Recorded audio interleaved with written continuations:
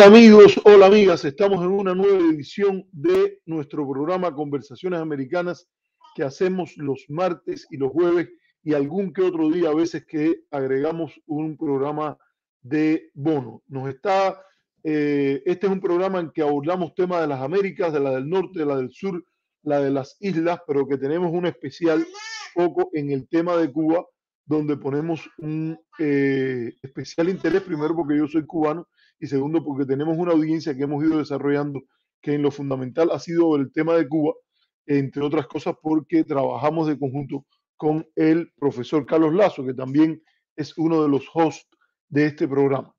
Eh, como siempre, estamos haciéndolo en este horario ahora de 6 y 30 hora Pacífico, 9 y media, 9 y media hora del este. Eh, tengo responsabilidades paternas que me hacen que tengo que empezar generalmente más tarde cuando mi esposa ya vira a la casa. Eh, Acuna, la cubanísima, fue la primera que estuvo hoy con nosotros. Dice número, número uno, eh, Today, profe, eh, leí tu, muy bonito comentario en el cual nos dices que eh, te gusta mucho nuestro programa y hay otras personas que aunque están viendo el programa a otra hora como Giselle, Giselle Iglesias, nos están y que vienen del otro horario anterior, que era un poco más temprano, cuando lo hacíamos y que estamos, sabemos que lo hacen, lo ven después y también nos ponen muy interesantes comentarios. Eh, estaba con nosotros Eva Abstengo que dice saludos profesor Levi, creo que la hemos visto por aquí anteriormente, está de vuelta o en los últimos tiempos no había comentado. Está Roberto Suárez que nos dice saludos, ojalá que gane, no más bloqueo, no más Marco Rubio. me, imagino que se está refiriendo al eh, congresista Max, al congresista no, al candidato al Congreso, no es congresista todavía, al candidato al Congreso Maxwell Alejandro Frost, que lo mencionamos en la descripción del programa, porque acaba de ganar la primaria del Distrito 10 para ser el candidato demócrata. Ese es un distrito que tiende mucho a votar demócrata, incluso después de los cambios que han ocurrido en el mapa electoral de la Florida. Y que lo más probable que sea el próximo congresista de ese distrito. Y eh, yo creo que es, es, fuente de alegría de que pueda haber un cubano que no tiene el abrazo eh, que ha tenido la dominante tradicional derecha norteamericana, tanto en el Partido Demócrata como en el Partido Republicano, con una visión eh, totalmente inmoral sobre las sanciones que se ejercen de manera comprensiva.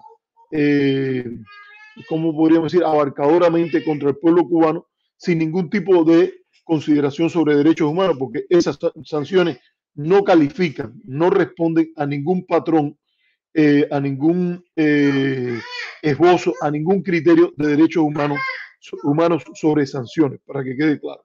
Y aquí está, eh, bueno, ya hablamos de Jacuna, hablamos de Diana Fernández que nos acompaña, Miguel Crespo, hay un grupo importante de, de habituales aquí, Edel Aluar, eh, que hizo el logo de nuestro programa, que lo vamos a empezar a usar próximamente. Tengo que tener un encuentro con un amigo ahí que me está asesorando para ver cómo lo empiezo a poner todas estas cosas, porque yo no soy muy ducho en manejar lo, el, el, el ¿cómo se llama? El StreamYard. Incluso eh, hay la posibilidad que nos movamos a otro sistema que me han estado recomendando. Eh, dice algo Yamila Pérez que dice, ay, la vaya de nuevo, no sé quién es el que hizo la vaya de nuevo, que es lo que está diciendo, y está también Guantesi desde Guantánamo que nos saluda. Qué bueno que hasta incluso hemos llegado llegando al Guaso, donde eh, siempre recuerdo, porque en mi deporte preferido es el baloncesto, se jugaba, se jugaba muy buen baloncesto en los campeonatos, cuando esos se, de los campeonatos que seguí en Cuba de básquetbol y de todo eso. Así que, Guantesi, un gusto tenerte por aquí. Bueno, vamos a ir directo ya a, ah, primero déjeme recordarle, por favor, el que pueda comparta el programa, el que pueda dele like para afectar los algoritmos y llegar a más personas, el que pueda también eh, esto hacernos una contribución monetaria, bienvenida sea para poder tener una mejor situación y poder mejorar la calidad de la imagen, la calidad de nuestro programa y también eh, esto eh, para, para mejorar la posibilidad de hacer un programa de mayor calidad. Aquí estamos haciendo un esfuerzo, hacemos un programa a pulmón. Eh, esto, voy a hacer una, una ya, ya entiendo porque Yamila Pérez, ya yo sé de dónde ella viene, nos dice, eh, cubanos libres, o sea, se refiere a nosotros, porque nosotros somos cubanos libres, todos, todos los, que, los que estamos contra el embargo somos cubanos libres, todos los que abogamos por una sociedad cubana en línea con la Declaración Universal de Derechos Humanos, en aquello en lo que se desvía el gobierno lo criticamos, en aquello en lo que coincide lo apoyamos. O sea, somos libres porque no somos eh, subordinados a ningún esquema binario en el cual estás conmigo o estás contra mí. Pensamos siempre con qué, con nuestra propia cabeza. Y para eso es este programa. Este programa es para pensar con nuestra propia cabeza, para buscar información, para discutirla, para, para hacer cultos, para ser libres. Pero bueno, ya ella de ahí, ya que primero nos, nos respalda, nos, nos ahora con tanto cariño cuando dice cubanos libres, entonces ahora dice, ustedes saben que no, y ahí pone una mayúscula y dice, no hay ningún embargo. Eh, y entonces aquí está, hay miles de datos de las exportaciones e importaciones de los corruptos dictadores. Basta ya de mentiras y manipulaciones. Entonces, eh, ya si no hay ningún embargo, lo que hay que hacer es quitarlo, ir allí y decir, miren, no eh, quiten todas esas sanciones y ya. Y, y, de esa manera ya no hay ningún embargo. Ah, lo que, la realidad es que si hay embargo y si hay bloqueo, no, no es solo embargo, es una política generalizada eh, abarcadora de sanciones ilegales, inmorales, contraproducentes y extraterritoriales. O sea, no es ni siquiera un embargo nada más, tiene una dimensión extraterritorial, con manipulaciones que han llevado a que la comunidad internacional de conjunto, con eh, las excepciones únicas de Estados Unidos, porque es el país castigado o, o condenado por la comunidad internacional, e Israel, que incluso no defiende el bloqueo, porque Israel no defiende el bloqueo. Israel lo que dice es que hay un récord en el cual Estados Unidos ha votado con Israel en muchas ocasiones en las Naciones Unidas y como agradecimiento Israel vota de esa manera, pero Israel nunca ha salido a defender el bloqueo e incluso me conta, porque yo vivía allá, de que el primer ministro Ariel Charón en aquella época, uno de los, de los primeros ministros legendarios en la historia de Israel, en una ocasión le trataron de poner presión para que aplicara las leyes de bloqueo y demostró que Israel no es colonia de nadie. Fíjense qué bonito es eso, cuando los países se erigen y dicen, mira, incluso tú eres mi aliado, tú eres mi amigo, pero tú no me impones aquí lo que yo tengo que hacer. Y la respuesta del primer ministro Charón, cuando trataron de empujarlo a que él cerrara el negocio en Cuba de uno de sus amigos, el ex coronel del Mossad, eh, Rafi Eitan, él dijo que ninguna ley israelí prohibía el comercio con Cuba y era lo que era verdad, ninguna ley israelí, no hay relaciones. Yo creo que Cuba cometió un error al romper relaciones con Israel cuando cediendo a las presiones de los países árabes eh, y particularmente a un discurso de Muammar el Gaddafi en la cuarta cumbre de Argel, Cuba rompió relaciones con Israel. Yo no estoy de acuerdo con, con ese hecho, pero fíjese que aún en ese debate los países que ejercen su independencia no se dejan mangonear, no se dejan patotear. Y ojalá nunca pase que Cuba vuelva a ser eh, el protectorado que fue antes del año 34 o eh, como república platista, porque eso hay que lo, llaman muchos historiadores así, y que después del 34 no fuera un país donde, eh, como, como me contaba el embajador al Sudaray, que decía Ricardo, Ricardo Alarcón, que dijo que los, gobiernos auténticos eh, analizaban lo que los Estados Unidos hacía y miraban en qué podían manifestar su independencia, porque eran gobiernos conscientes de lo dependiente que eran de, los, de los gobiernos estadounidenses y que Batista miraba lo que estaba haciendo el gobierno norteamericano para ver de qué manera mostraba más su dependencia. Hay que recordar que incluso el embajador Earl Smith decía sobre Cuba que eh, eh, eh, cuando, se formó el debate sobre quién perdió Cuba, como si Cuba fuera un país para perder. Cuba es un país que lo que tiene que tener es su propia voluntad, ejercer su soberanía, etc. Y, pero el embajador Earl Smith decía que el embajador de Estados Unidos en Cuba era la segunda personalidad en importancia en el país y a veces el primero. Entonces, señores, por favor, gracias por referirse a los cubanos libres como somos nosotros y eh, eh, esto eh, esperamos que eh, Yamila Pérez con este, estos argumentos que le hemos dado y que del otro lado no viene nada, porque fíjense, ¿cómo usted puede, cuál es la, la incoherencia lógica más grande? Defender que algo debe mantenerse cuando ese algo no existe. Si algo no existe, lo lógico es, bueno, mira, vamos a acabar con esta situación.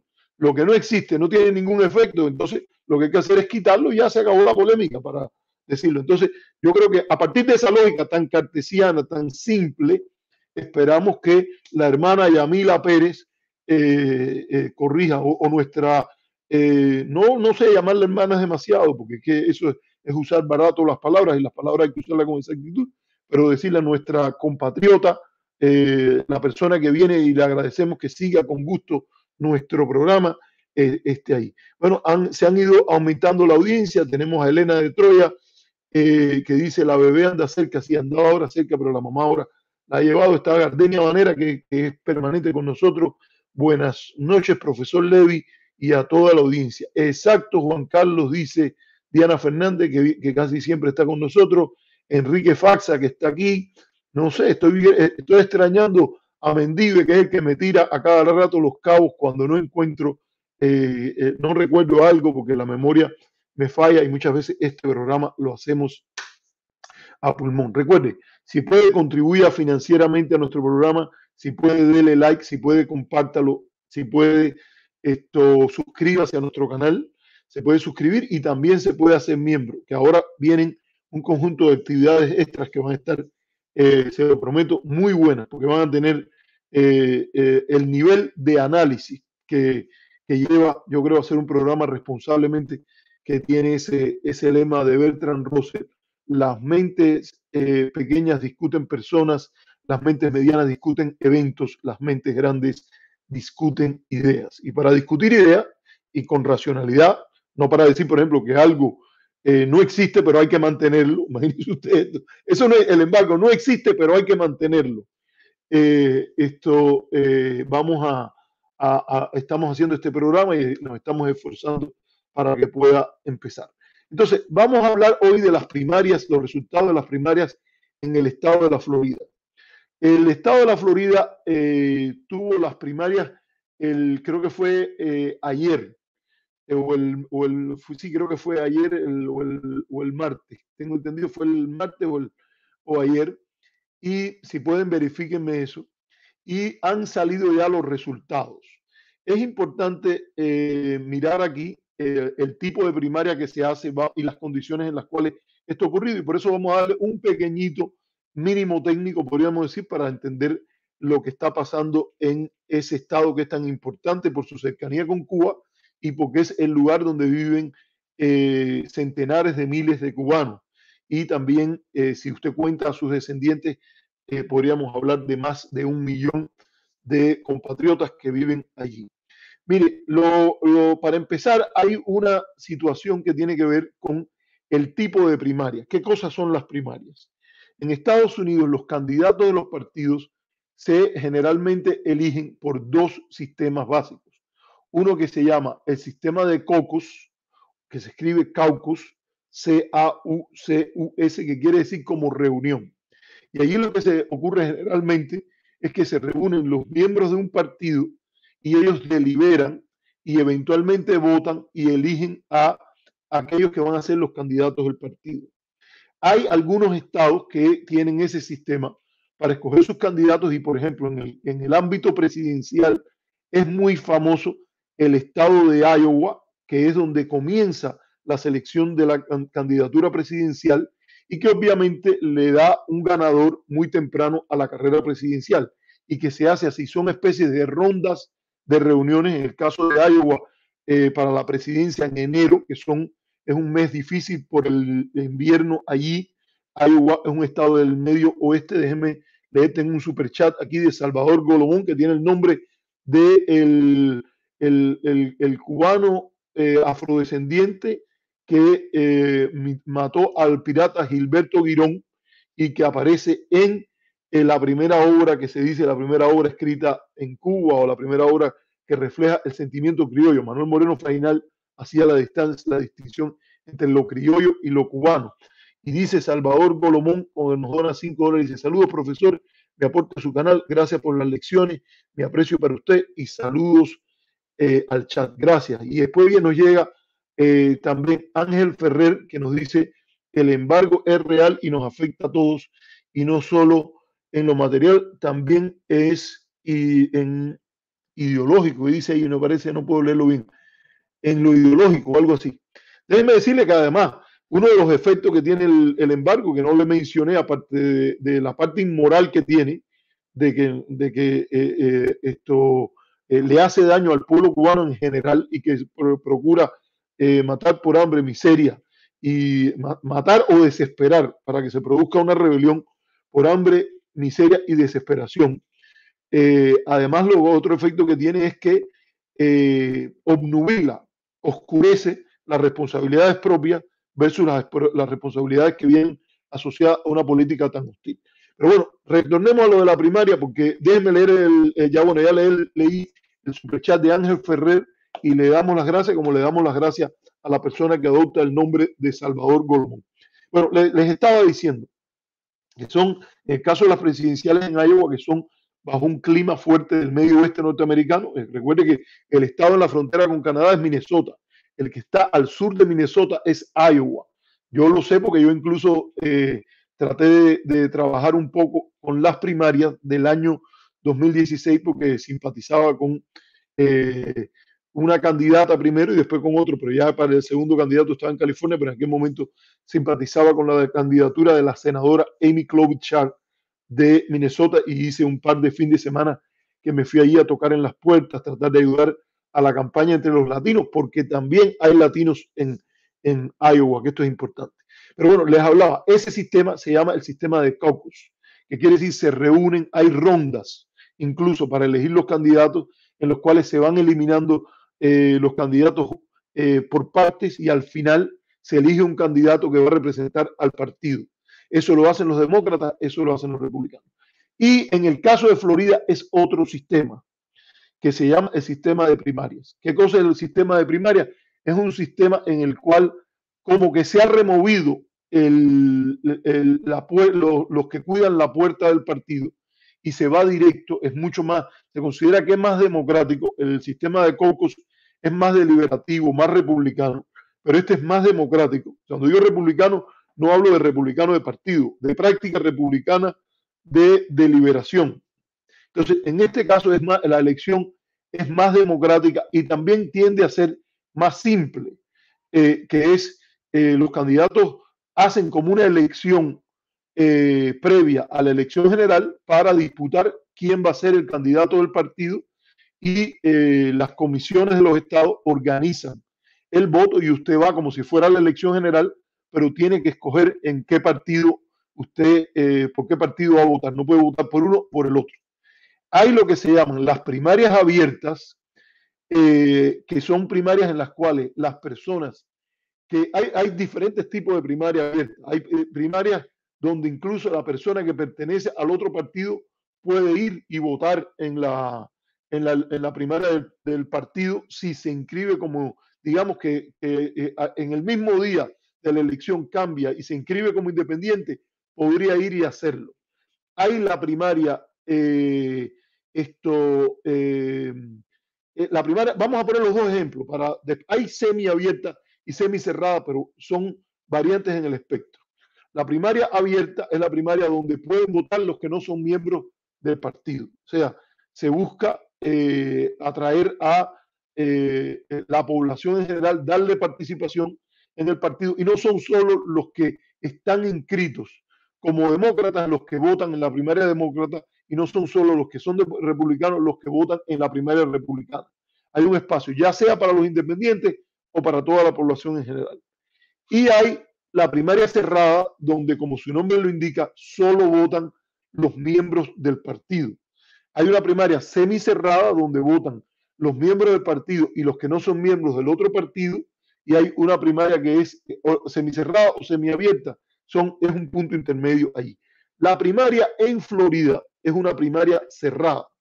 O sea, eh, cuando usted vota en, la elección, creo que es a partir de julio, ya cierra el padrón electoral ¿Y qué quiere decir con esto? Que solo puede votar el que haya estado inscrito en un partido en especial. Usted tiene que haber sido inscrito como demócrata para votar en las elecciones de, la primaria demócrata o viceversa, ser estar eh, inscrito como republicano. Hay diferentes maneras. Eh, Florida es un estado un tanto raro porque a veces han eh, existido muchos problemas para la inscripción electoral, padrones con, con errores que no se han rectificado. El diseño de las boletas, por ejemplo, en la, elección del 2000 presidencial fue un desastre. hay prohibición a los que han cometido ciertos delitos de votar que eso eh, ocurre porque Estados Unidos es un sistema federal. Hay estados donde se puede, puede votar toda la población y hay estados que eh, particularmente eh, por iniciativa republicana o históricamente por lo que eran los demócratas sureños, que muchos de ellos se pasaron al Partido Republicano en la época de la segregación, tenían leyes que hacían difícil para una parte de la población, particularmente la población afrodescendiente votar. Eh, todo eso, Florida eh, eh, fue afectada por el movimiento de los derechos civiles y por, por, la, por la ley de derechos civiles que estableció previsiones y estableció programas, programas para facilitar el voto de la población. Voy a saludar aquí a Edel Aluar, que nos ha puesto una donación y nos dice Conversaciones Americanas, la más directa de las directas, que es el, decía, es la persona que nos hizo el logo, que lo vamos a empezar a usar pronto. Y bueno, eso es un tema importante. Se trata de una primaria cerrada y que, el padrón cierra un mes antes, más o menos, creo que para, para el veintitanto de julio ya cierra. La primaria ocurre en eh, agosto, el mismo día que ocurrió la, primaria de Nueva York y también la de, eh, el estado de Oklahoma porque he visto que se ha reportado de conjunto. Un tema importante también para aprender, para recordar un tema de política norteamericana es lo que se llama el mapa electoral. Como Estados Unidos, de nuevo les repito, es un estado federal donde hay áreas de jurisdicción o zonas de jurisdicción que eh, se superponen. Eh, hay áreas donde la ley estatal es la que decide. Incluso si hay una violación de la ley estatal o hay una denuncia, una disputa sobre un tema que es estrictamente de la jurisdicción del Estado, eh, que eso es un error que he visto en algunas directas cuando la gente te dice, no, pero cualquier discusión eh, tú la llevas a la Corte Suprema y no paras hasta la Corte Suprema. No, no, no, no toda discusión puede llegar a la Corte Suprema de los Estados Unidos. lo que tiene que ver con jurisdicción estatal estrictamente, que no tiene implicaciones eh, eh, para, sobre la ley federal, la más alta autoridad es la Corte Suprema del Estado. Obviamente, si se puede hacer el caso de que el elemento de lo que decide la Corte Suprema del Estado tiene implicaciones federales, usted podría presentar primero que todo el caso, fíjense, no es el caso suyo, sino el caso para que la Corte Suprema tome su caso en el entendido de que no es solo una cuestión de ley estatal. Y del otro lado están los temas que son de la ley federal, donde rige la constitución eh, de los Estados Unidos, ya no la constitución del estado de la Florida, en este caso, o la constitución del estado de Colorado, la constitución del gran estado de California, donde yo vivo, la República de California. Y en ese caso, eh, esto sería, si es federal, nos regimos por la constitución federal y eh, allí habría un mayor, mayor posibilidad de acceder o una mayor, es más elegible el caso de llegar a la Corte Suprema, aunque no hay jurisdicción automática, no hay jurisdicción automática, no, hay jurisdicción, pero la Corte Suprema no tiene que automáticamente tomar los casos porque es, aunque es la Corte de apelación de último recurso, no lo es para todos los casos. Es una, eh, eso ocurre hasta el nivel de los circuitos de apelación. Pero ¿qué les quiero, qué es lo que quiero decir aquí? Que hay cosas que son estrictamente de los estados. Y entre las cosas que son estrictamente de los estados es eh, el, diseño del mapa electoral. Siempre y cuando cumplan con la normativa federal sobre cómo diseñar ese mapa, siempre y cuando tengan en cuenta los criterios, por ejemplo, de continuidad geográfica, eh, búsqueda de representación, eh, etcétera, una serie de, indicadores, quienes hacen ese mapa son los, eh, las legislaturas estatales, se hace a partir de un censo cada 10 años que redistribuye los puestos de carrera para la Cámara de Representantes. Nótese que en el Senado no ocurre así porque los, cada estado tiene, eh, elige dos senadores como parte de las diferencias entre la Cámara eh, Baja, que se elige, o la Cámara de Representantes, que se elige cada dos años, es donde se expresan más directamente las pasiones del pueblo y en, el, en, el, en la segunda Cámara, o la Cámara Alta, es donde, como decían los, eh, no recuerdo ahora cuáles de los padres fundadores, lo que se hace es que se enfrían la calentura de las pasiones que viene en eh, la elección de cada dos años. En este caso, el Senado se elige cada seis. Una cosa que ha pasado en la Florida es lo que la gente han llamado el mapa de DeSantis, porque eh, a tenor de esa idea de, renovar el mapa, se ha hecho un nuevo mapa electoral en los, en, en los diferentes estados y en el estado de la Florida, eh, no sin importante fricción, eh, esto han diseñado un nuevo mapa. Y vamos a ver cómo ese diseño de un nuevo mapa afecta lo que ha estado ocurriendo. Primero está este distrito, ahora ya vamos a empezar por ahí. Eh, ¿por, qué ese mapa es importante? Porque ocurre lo que se da llamar en la historia norteamericana el gerrymandering, que es una palabra que se las voy a escribir en el chat, que es gerrymandering. Eh, ¿Qué cosa es el gerrymandering? El gerrymandering es el diseño de los distritos electorales a conveniencia del partido que tiene el control de la legislatura. Eso generalmente, incluso han habido varios casos en que, mira, aquí está con nosotros Giselle Iglesias, buenas noches, profesor, estuvo estaba Gardenia Vanera que la puse eh, allí. Entonces dice Diana Fernández, esos mapas electorales son la trampa. Los republicanos lo hacen para ganar ellos y los demócratas también. Eso sí, yo le digo que ahí eh, donde, eh, ahí que, que, como decía mi, mi abuela que decía muchos dichos, decía, al son de chino valiente, muchos empinan el garrafón. O sea, lo han hecho los republicanos y lo hacen los demócratas. Y por, por razones que tienen que ver con una observancia de la Constitución, han habido casos en los cuales las Cortes han dicho que eh, los padres fundadores le dieron esa función a las legislaturas y que son las legislaturas en última instancia, porque ahora, con, los avances de la computación, los avances del micro, eh, el, micro drafting, o sea que puedes eh, dibujar un mapa con mucha exactitud, el data, la información que recibes es importantísima, te ayuda cantidad, al punto, por ejemplo, que en Ohio han diseñado distritos que eh, una, una parte de una acera hasta cierto punto llega a un, un, distrito y de la mitad de la acera para en adelante llega, va a, de, un lado de la calle, da al otro distrito. Y, eso ha preocupado mucho, déjenme decirle que eso ha preocupado mucho porque eh, se supone que sean los eh, electores los que elijan a sus diputados, a sus eh, funcionarios electos y no sus funcionarios, no los funcionarios electos, los que elijan quién los va, quiénes los van a elegir a ellos. Y es muy, muy conocido, no sé si ustedes lo saben, que hubo un caso que, ah, tocó a un mercado que se llama Kmart y que utilizando ese micro targeting le dicen, o cómo se diría micro targeting en, español, se diría como la capacidad de milimétricamente eh, dirigir la propaganda electoral, eh, dirigir, eh, diseñar los distritos.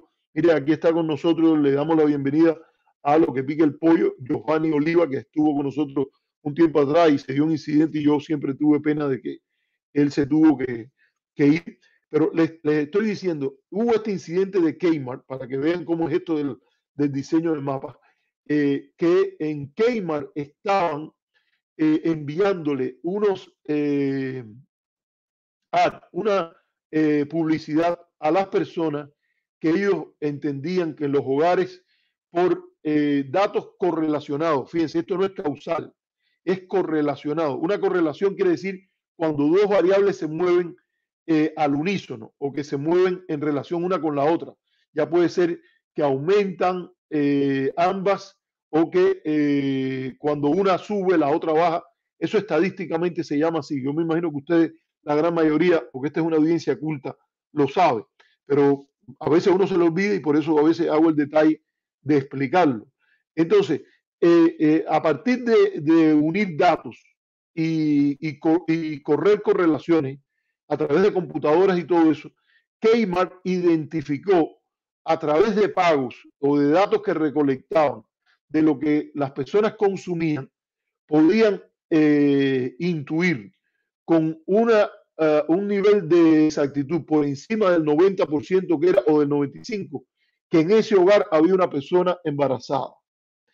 Y entonces ellos enviaban a esos hogares especial promoción de, de ventas en la cual decían una nueva vida está, una, una, nueva vida llega, en un life is coming. Y entonces enviaban eso a los, a los hogares y un señor molesto porque él eh, tenía una hija que era adolescente y recibió esa, esa publicidad, le dijo, ustedes están promoviendo el embarazo adolescente y protestó.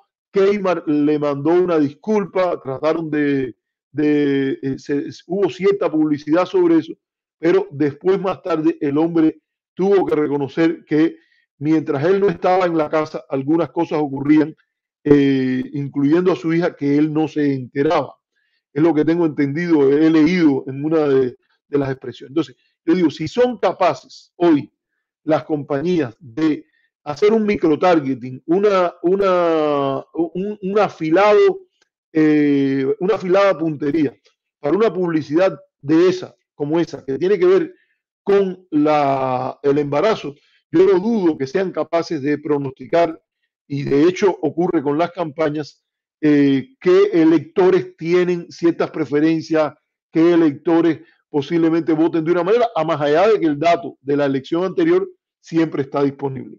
Entonces, eh, en eso, lo que hace es que se ha afilado las habilidades para una práctica que es muy vieja en la historia norteamericana. ¿Por qué se llama gerrymandering?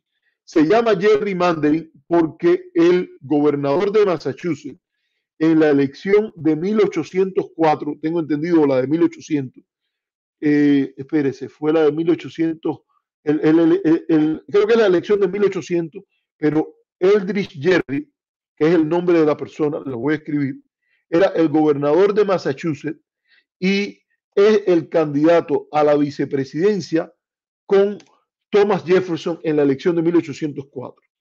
Y este es el señor por el cual le dicen Jerry Mandarin. ¿Y por qué le dicen Jerry Mandarin? Porque él diseñó un distrito electoral que era como una especie de serpiente de este a oeste del estado de Massachusetts, en el cual iban y votaban las personas. O sea, eh, eh, puso allí eh, a la gran mayoría de los federalistas, tengo entendido, que era el partido contrario, para que los federalistas ganaran ese distrito con un, como con un 80, un 90%, y el resto de los distritos los puso competitivos para que los demócratas republicanos, que eran los que él, el partido de él, pudieran ganar con márgenes de un 55 a 45, algo por el estilo. O sea, le daba suficiente ventaja para que ganaran. O sea, es un, es un diseño electoral por el cual el partido tuyo tiene un margen relativamente eh, holgado para ganar, pero no desperdicia votos ganando un distrito 90 a 10 eh, eh, y así es competitivo o por lo menos puede ganar más distritos en los otros lugares.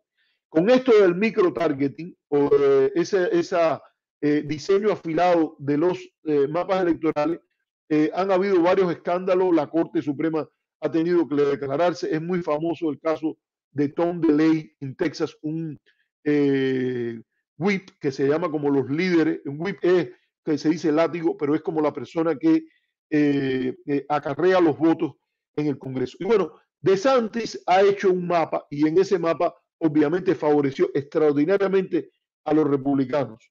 Aún así, hay áreas donde quedan, por ejemplo, alguna competitividad o áreas donde eh, los demócratas tienen ventaja porque ese es el juego. Poner muchos demócratas en un, en un distrito y hacer competitivos o holgadamente ventajosos para los republicanos el resto, el resto de los distritos. Pero un distrito donde hay gran ventaja demócrata es el distrito 10 de la Florida. Ese es el distrito que mayormente representa. Veo que tenemos a la trágica por aquí que dice, eh, eh, que dice, ahí dice cantonés, o sea, parece que muy interesante. Yo siempre me he preguntado qué quieren decir los, los caracteres que ella tiene. Ahí dice cantonés porque ella es descendiente de ellos, parte de su familia. Nos dice la trágica que también viene por aquí. Dice Mendive que fue en 1812 cuando ocurrió el gerrymandering. A mí me parece que fue antes, pero bueno, puede ser. Eh, la cosa es que en los primeros años del, siglo XIX. Entonces, ¿qué pasa aquí en el distrito 10 de la Florida? El distrito 10 de la Florida era el distrito en general, porque ha sido diseñado, le han quitado algunas partes, eh, donde era la congresista, o es congresista actualmente, Val Deming, que es aquella señora que fue jefe de policía, que Biden dijo, en mi opinión, no, no era muy serio en eso, porque él no tenía mucho que ganar poniendo la ella de vicepresidenta, pero eh, que eh, el, vicepresidente eh, Biden, cuando estaba ya corriendo para las elecciones 2020, él listó un grupo, él hizo el compromiso de que la vicepresidenta iba a ser una mujer afrodescendiente y al final en el último, en la última línea se había hablado de Val Deming de la Florida porque ella podía hacer competitivo el Estado al sacar a muchos votos afrodescendientes, progresistas en el Estado. Y eh, esto, bueno, se habló también de eh, la que al final, finalmente lo fue, que es la eh, vicepresidenta actual, ex senadora Kamala Harris de Oakland, aquí donde doy clases, y también clases, y está también él, estaba también Karen Bass, que es una, una cuestión interesante con Cuba, porque ella había sido, es congresista por Los Ángeles, ahora está corriendo para alcaldesa de Los Ángeles y había sido miembro de la Brigada Venceremos, que es una brigada importantísima en los movimientos de solidaridad con Cuba eh, en el pasado. Entonces, ¿qué le quiero decir? Eh, ese era el distrito de Aldeming, el distrito 10, que es un distrito que tiende mucho, tiene una composición grande, no es mayoría absoluta, pero tiene una mayoría importante afrodescendiente que tiende, es el grupo que más vota demócrata y también otras minorías que también donde se vota demócrata también como una parte latina que incluye algunos puertorriqueños, es importante también. Eh, esto me aclara, me aclara lo que pica el pollo, este Giovanni, me aclara que whip también significa revólver. Mira, eso es interesante. Entonces, ¿qué, qué, qué ha pasado ahí? Y esto es lo más bonito que ha ocurrido y es que habían ahí, se lanzaron a la elección por ese distrito que queda vacante, Val va a correr al Senado, y entonces se queda vacante, y siempre, siempre cuando hay eh, un distrito vacante, hay más posibilidad de ganar. Es muy difícil derrotar un incumbente. Una característica que los que, los que enseñamos política norteamericana siempre ponemos un énfasis es las ventajas de la incumbencia.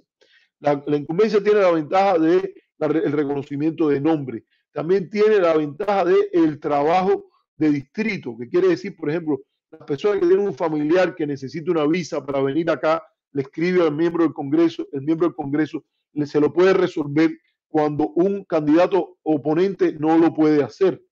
Eh, también tiene la ventaja de una relación con los dirigentes locales en la primaria. Entonces, todo eso crea lo que se llama las ventajas de la incumbencia. Entonces, cuando un incumbente, quiere decir alguien que está en la oficina, que es el congresista, se retira, es una buena oportunidad para que el resto corra. O sea, aquí en el Distrito 10 se dio la situación que varios ex congresistas trataron de correr. Dentro de ellos, el más importante, Alan Greenston, que era una persona muy conocida un, miembro del Congreso bastante sui generis, desde ahí, desde la Florida. Él trató de correr. Hubo otra señora que ahora no me recuerdo bien el nombre. Si pueden, alguien busque ahí Distrito 10 eh, con ex congresistas en la carrera y pueden encontrar el nombre de una señora que se llamaba Cheryl, algo me parece, o algo así. Y eh, eh, habían 10 candidatos. Y entre esos 10 candidatos apareció un cubano-americano afrodescendiente que tiene ese nombre tan de los Estados Unidos de hoy, que es, él se llama Maxwell Alejandro Frost. Fíjense, el apellido se escribe eh, esto como el nombre del poeta Frost, o sea, el apellido, el apellido de Frost.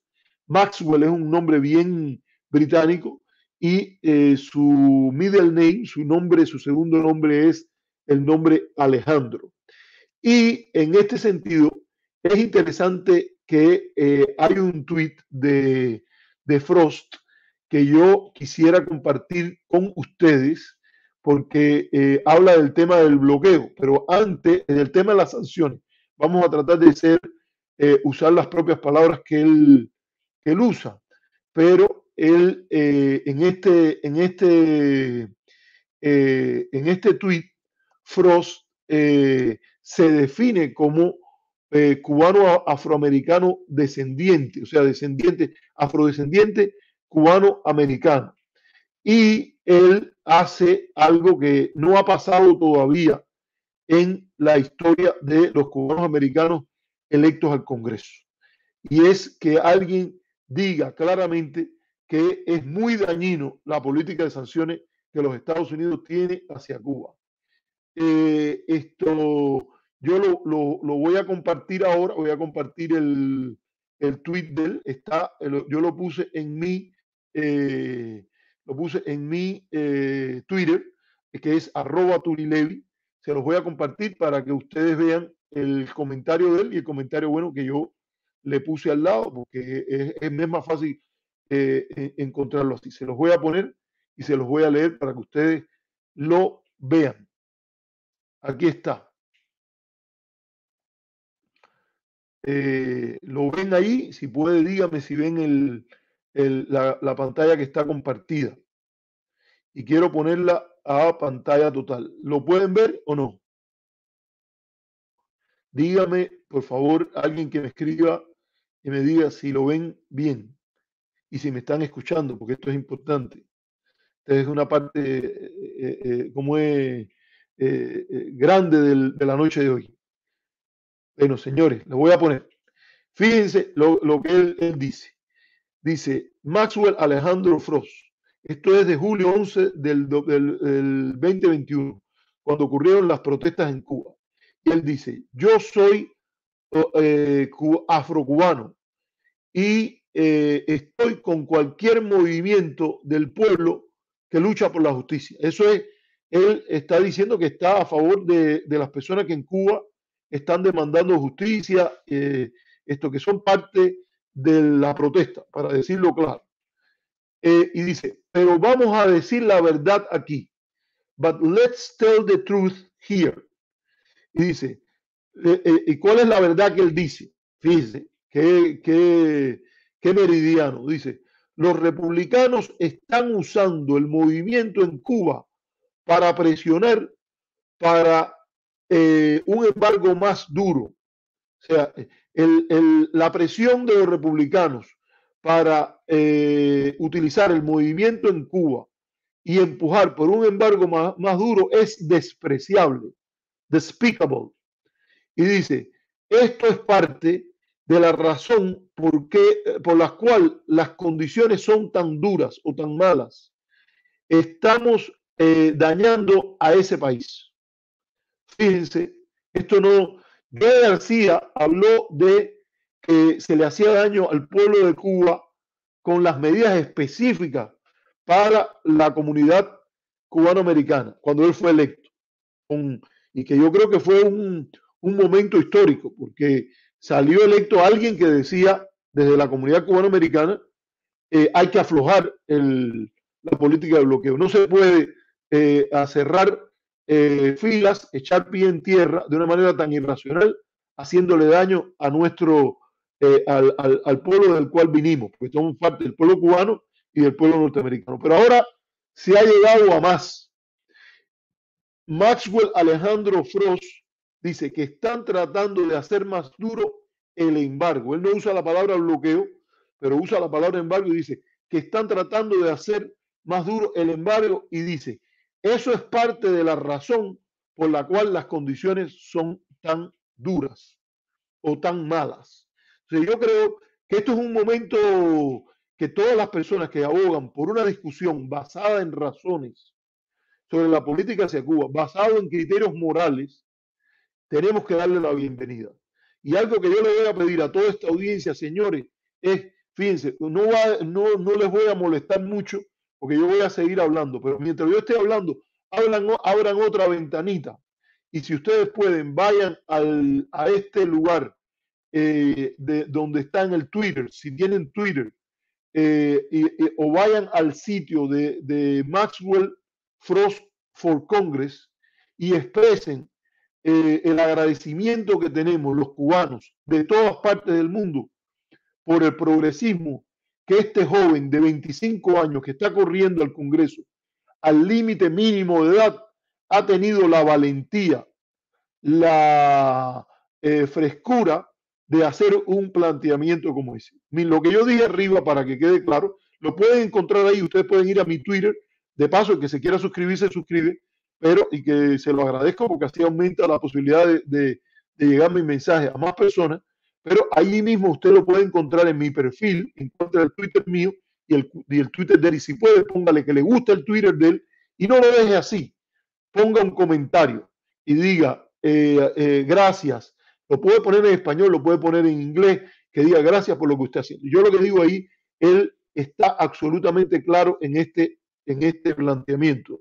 Una nueva generación está trayendo integridad moral a la discusión sobre Cuba, sobre las relaciones Cuba-Estados Unidos. Eh, muy bien por Maxwell Frost de la Florida. Pero señores, ahí yo creo que está, lo pueden ir a buscar. Eh, no sé si, esperen un momento, voy a, a, salir de la pantalla completa y así puedo ver los planteamientos que ustedes hacen. Así que, si pueden, señores, dice María José, voy para allá, profe. Y hay que decirlo, señores, por pequeño que sea el aporte, sería bueno, y en eso vamos a planificarlo, porque no es bueno hacer una donación así pequeña. Yo quiero que a partir de este programa, si nosotros podemos un día, yo quiero, yo estoy en contacto con, con, con la campaña de Frost y no lo había, no le había dado mucha eh, vuelta porque desde había hay una cosa, yo honestamente él me sorprendió con su victoria, porque yo pensé que los, los, más reconocidos eh, y más eh, establecidos iban a, a la larga a atraer más votos, pero él sorprendió y lo logró. Y vamos a ver si podemos hacer algo para que eh, en determinado momento de un, de un, determinado día, decir, los cubanos que estamos contra el bloqueo, seamos republicanos, seamos demócratas, donde sea, vamos a contribuir a la campaña de, de Frost, aunque es un distrito que particularmente parece y ya está ganado. O sea, habría que ver, uno nunca, nunca, eh, eh, como hay un dicho en Estados Unidos que dice, eh, nada ha terminado hasta que la gorda no cante, porque eso es sobre la ópera. Ustedes saben que generalmente la, las grandes cantantes de ópera tienden a ser un poquitico gorditas y entonces tiran un, son, tienen una voz tremenda y es, generalmente son los que concluyen la, la ópera pero eh, esto nada está dicho hasta que hasta la hora 24 cuando todo termine, hasta la hora 27. Mira, hay una frase cubana muy, muy buena, no hay nada dicho hasta la hora 27, pero hay que eh, eh, decir que el distrito tiende a demócrata y ya él tiene la candidatura demócrata en el bolsillo. Posiblemente sea el miembro del Congreso más joven a partir de noviembre. Recuerden ese nombre, porque yo creo que es importante eh, seguir lo que está haciendo y es importante comunicarse y que sepa, aunque no se esté en el distrito, hay que eh, esto, eh, poner un énfasis en, en, esta cuestión. Él está, fíjense, ha sido apoyado por, vamos a decir un poquitico de su historia, déjeme compartir un poco, porque yo tengo el, el website de él aquí, creo que, que sí, ya lo tengo aquí. Entonces lo que voy a hacer, les voy a compartir el website por si ustedes lo quieren lo quieren también eh, ponerlo ahí. Mire, se nos hizo miembro alguien ahora, Giselle Iglesias, que es nuevo miembro. Muchas gracias, Giselle. Y, y, ojalá que ahora que empecemos a hacer las actividades, también te sientas contenta de venir un día aquí y decir que es una buena experiencia ser miembro de nuestro canal. Pero voy a compartir ahora en la pantalla el website electoral de Maxwell Alejandro Frost. Y allí, eh, para que ustedes vean eh, lo, que él, eh, lo, que él, lo que él nos dice, ¿no? O lo que él nos, nos, ha contado. Es interesante saber de su historia. fíjense aquí, a ver, yo espero, vengo para acá. Ahí está. Esta es la persona, fíjense. ¿Quién es él? Él reivindica su condición cubana dice que su abuela Yeya, un nombre que usan mucho los cubanos a veces, su abuela Yeya, llegó a los Estados Unidos en los años 60 eh, y fue como muchos cubanos, una trabajadora. Yo recuerdo, mis abuelos estaban aquí en los Estados Unidos desde el año 56 y las historias que nos contaban al, ir a Cuba a partir del año 78, porque siempre mi familia, los, los Fernández y los Levy fueron personas que fueron mucho a, Cuba, vivían en los Estados Unidos como mi tío Eddie Levy, pero fue los primeros que fue y se montó después del 78 porque él nunca eh, optó, o sea, discrepancia con el gobierno no implicaba olvidarse de su familia. Mis abuelos eran apolíticos o, no se metían en política y sin embargo cuando tuvieron la oportunidad de ir a ver a sus dos hijas que estaban en Cuba, fueron a Cuba a, a verla. Y los, los cuentos que nos hacían eran como de la mayoría de los emigrados que venían, que era una emigración latina típica antes del triunfo de la revolución y después del triunfo de la revolución, muchos de ellos, aunque algunos ya venían de clase más, clase media, etc. Gente que vino a los Estados Unidos a buscar empleo, trabajar, ganarse la vida, eh, echar adelante a su familia, a sus hijos que tuvieran aquí y también para no olvidarse de los familiares que dejaban en el país de origen, como hacen muchos emigrados hoy. Esto hay que decirlo porque recuerden lo que discutimos el martes cómo hay quien quiere darle la patada, patada a la escalera por la que él mismo subió. Y eh, él se refiere a su abuela Yeya con mucho respeto. No viene a construirse esa historia cubana de que en Cuba eh, todos eran, eh, nadie era chihuahua, todo el mundo era pastor alemán y que tenía tierras y las grandes casas y, y, todo ese tipo de cosas. Él habla muy orgulloso de su abuela y ella trabajadora. Y también habla con orgullo, pero también a veces uno se da cuenta que, hay valor en eso. Él se refiere a su madre biológica, que no sé si es la cubana, si ella es la cubana, creo que el padre es que es cubano y la madre eh, era, o, él, tiene una, él, tiene uno, él, crece con padres adoptivos o finalmente es dado en adopción, pero su madre biológica lo da en adopción porque ella estaba en un ciclo que él mismo lo dice, de drogas, eh, marginalidad, etc. Ahora, fíjense cómo lo dice, y como afro-cubano, él viene de esa perspectiva y es de la generación que es muy golpeada por el tiroteo de Parland, donde mueren muchos niños ahí en la Florida, y él ve la manera tan irresponsable que los funcionarios republicanos eh, eh, eh, enfrentan la crisis por el uso de armas y la muerte de niños, que es una cosa particularmente elemental.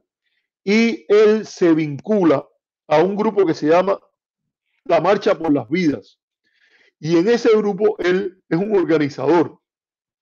Fíjense, él es una persona que trabaja en esas áreas, pero también se gana dinero. Esto es algo que que a lo mejor al capitán Rodríguez, que no, él a cada rato viene por aquí, pero no está por aquí, pero a lo mejor le podría resultar interesante, es eh, esto, eh, que él se gana la vida haciendo Uber. O sea, él hace su trabajo, pero para complementar su ingreso, ese trabajo de organizador, eh, aparte de eso, se dedicaba a hacer Uber para complementar su ingreso. O sea, es una cuestión admirable de la manera en que este, este joven ha conducido su campaña electoral. Hasta el momento que ya, imagínense, no podía estar haciendo Uber y a la vez haciendo la campaña electoral y se dedica entonces a hacer su campaña electoral.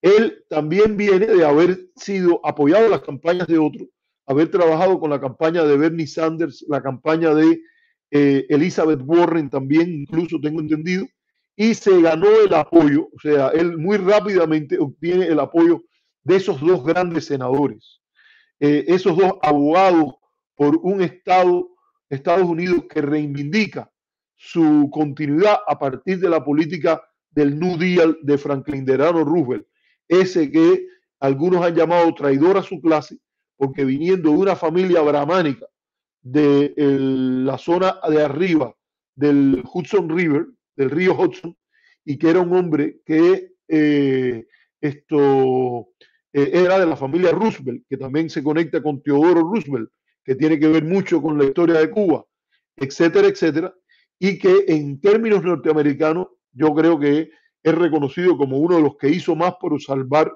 el capitalismo al crear un Estado que ya empezar a intervenir en la economía, regular, a tratar de buscar cierto mínimo, mínima meseta de igualdad a partir de las cuales la gente pudiese levantarse. Con sus errores, con sus cosas, yo como judío siempre eh, menciono el caso del buque San Luis, que no lo dejó entrar a los Estados Unidos.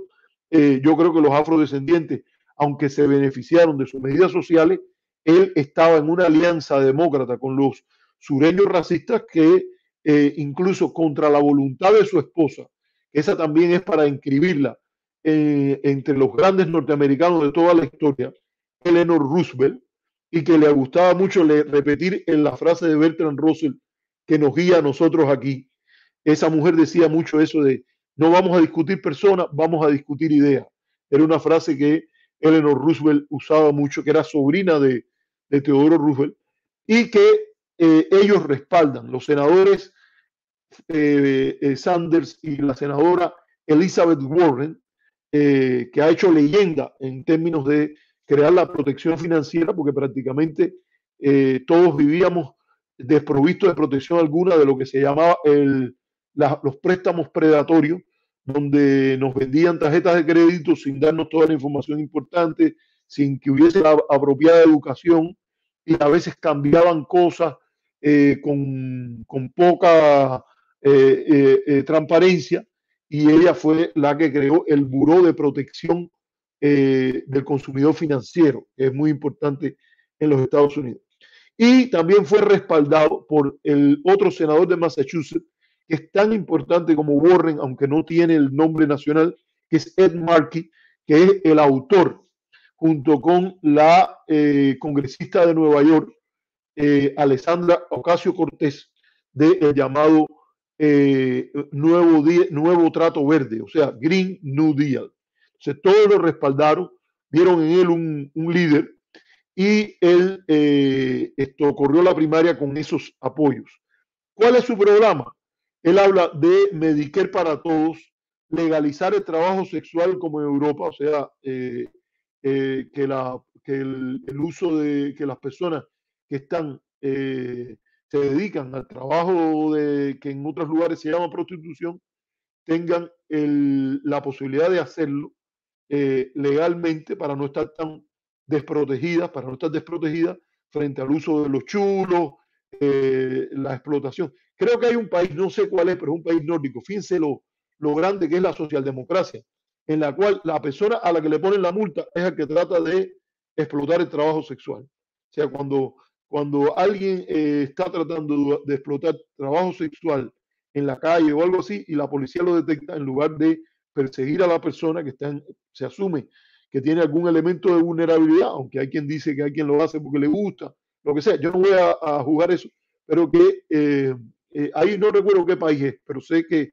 que lo leí en uno de, los documentos esos que se hacen de experiencias socialdemócratas que produce la Fundación Ever, de que eh, en uno de esos países lo que se hizo fue que al que se multa es al que explota, no a la explotada. O bueno, también puede ser porque también hay, ¿cómo decir?, el trabajo sexual de personas del mismo sexo, etc. Apoya la, legalización de la marihuana para uso recreacional. Esto es un tema también muy importante en los Estados Unidos en el cual eh, yo también lo apoyo. O sea, aquí en, el estado de California es legal para uso médico y también para, para en muchos lugares, en el estado de Colorado, donde yo vivía, es para uso recreacional.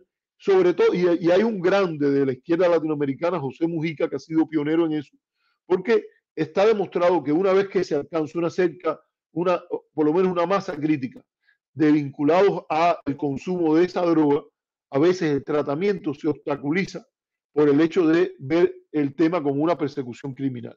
Y eh, basado en esas mejores experiencias, eh, ha habido toda una teoría para eh, proponer la legalización del uso de la marihuana. bueno, todo, en, ese, en ese sentido, esto, incluso yo, yo discrepé con, con, con personas con las que cuales trabajaba en aquel momento o hacía cosas en conjunto y que, y que esa persona, que no voy a mencionar aquí, pero que, que por el trabajo de aquel trato de no eh, marcar diferencia, eh, era, yo, yo creo que no, no debió escandalizar tanto cuando eh, Robertico Carcasés en Cuba dijo aquello de liberen a María en una referencia un tanto codificada de pensar incluso la posibilidad de una legalización en Cuba. Estamos hablando de, de drogas que son mucho más suaves y de drogas que otras drogas que son mucho más fuertes. Y déjenme decirle algo, porque también las historias cuentan. Eh, la primera legislación en Estados Unidos sobre el uso de la marihuana es eh, eh, pidiéndole a los colonos de la Nueva Inglaterra que plantaran la marihuana. O sea, porque se entendía que tenía propiedades medicinales y era muy buena para hacer sogas. Esa es la primera vez que hay una regulación en los Estados Unidos no es para prohibirla, es para fomentarla. Y la segunda o tercera legislación sobre la marihuana sí es, sin lugar a dudas, una legislación racista, porque ocurre en Utah y se prohíbe el uso de esta planta en el entendido de que bajo los efectos de esa droga, las mujeres blancas eh, yacían en la cama con eh, nativos, creo que era, y afrodescendientes, como ellos, ellos lo llamaban negros, ¿no? Era la palabra que ellos, ellos usaban. Yo creo que no debe ser ningún problema, primero, es evidentemente una legislación racista. Primero porque no se necesita el uso de la, de la marihuana para que las mujeres de cualquier color quieran acostarse con los hombres de cualquier color. Y no es un delito ni pecado, que ah, con los latinos también, era también con los, tengo entendido que hasta con los latinos los pusieron en los latinos, los afrodescendientes. No, no estoy seguro si, si los Native American también. Pero obviamente, muy mal anda una legislación que empieza la historia de regularse y de prohibirse a partir de ese contenido, porque no es ningún pecado que una mujer blanca, eh, esto, eh, eh, latina, negra, nativa americana, tenga que se yazca en la cama con personas de otro color. Eso para que quede claro Además, parece que la gente no la pasan tan mal cuando ocurren ese tipo de cosas y lo hagan o no lo hagan bajo los efectos de la droga y de esta droga en especial, de, la marihuana. Y bueno, hay que regularlo como se regula el alcohol, hay que buscar eh, también la posibilidad de que se creen grupos para que las personas que tienen adicciones puedan rebasarlo, pero eso yo creo que refleja un pensamiento progresista. Y eh, bueno, él pide una amnistía general para los delitos por eh, posesión de marihuana, entre otras cosas en la Florida, porque también hay una desproporcionada eh, número de afrodescendientes que, y de minorías que son los que, los que han sido víctimas de, ese, de, esa, de, una, de una persecución por ese tipo de delitos. alguien dice que alguien con llave que le dé bajanda a Sandra. Yo tengo que, yo tengo que poner la llave. Eh, dice que cómo pueden, dice, voy a poner a ver, déjame verla, mira ya. La voy a, mira, gracias por ponérmela ahí. ¿Cómo pueden ustedes defender el comunismo viviendo en un país tan hermoso como Estados Unidos? Primero, nadie está defendiendo el comunismo, pero los que defienden el comunismo en este programa, eh, como los que defienden otra cosa con razones y bien fundamentadas, yo le doy espacio para que vengan y lo, lo discutan aquí. No es mi función aquí controlarle las ideas a las demás personas. Uno puede tener diferentes ideas sobre lo que consideren el mejor eh, sistema para ver, aunque yo, por ejemplo, sí he dicho varias veces que el que quiera defender el comunismo tiene que también asumir que tiene una, una historia en determinados momentos eh, con, con eh, el número de víctimas, por ejemplo, entre los más grandes de los sistemas políticos, particularmente en el siglo XX. Es lo único que, que digo, como lo tiene el capitalismo también, para que se sepa, eh, o como lo tiene una variante del capitalismo, porque una, eran sociedades fundamentalmente basadas en la plusvalía y todo eso, cuando estamos hablando de, por ejemplo, el nazismo, que aunque se llamaba nacionalsocialismo, no era una variante que tenga que ver para nada con el comunismo, ni mucho menos, sino tiene que ver más con eh, dinámicas del capitalismo, no con la democracia liberal. Yo creo que hay que separar las dos cosas. Una cosa es capitalismo, otra cosa es democracia liberal, otra cosa es democracia eh, con economía social de mercado, democracia política, etc. Pero bueno, ya, ya le respondí. Por favor, si quiere, de eso lo estamos hablando aquí. Aquí lo que se estamos hablando, como dice Mendive, es de las elecciones al Congreso y estamos hablando de, de un candidato que al contrario nunca se ha reivindicado como comunista y al contrario, ha caminado la milla extra para decir que el tipo de visión democrático socialista que a él lo anima no tiene que ver con eso, como lo hizo Alexandria Ocasio Cortés, como lo han hecho otros, eh, otros, otros congresistas que, o otros políticos norteamericanos que corren desde esa perspectiva. Y por favor, Franklin Delano Roosevelt, si usted es capitalista y quiere este país tan bello, eh, la, corriente principal de la historia norteamericana lo que hace es poner flores en la casa de Hyde Park, donde, donde creció ese gigante del de, gobierno norteamericano. Entonces, eh, mira, ya me está diciendo que yo no me respeto, así que mire, yo voy a hacer em, esto así, se, resuelve el problema que me han pedido. Fíjese, la propia gente pidió que ya yo la eliminara y así ya la eliminé. Entonces, mire, estaba hablando, ese es Maxwell Alejandro Frost. Una cosa que hace Maxwell Alejandro Frost también es interesante para que vean eh, cómo el que ríe último ríe mejor, vamos a decirlo así, que él fue a un, a un eh, evento con el gobernador de Santis y de una manera respetuosa, tengo entendido, él le dijo, eh, pero déjeme hablar, yo quiero decir que lo de las armas es crítico, que lo de las armas es una vergüenza.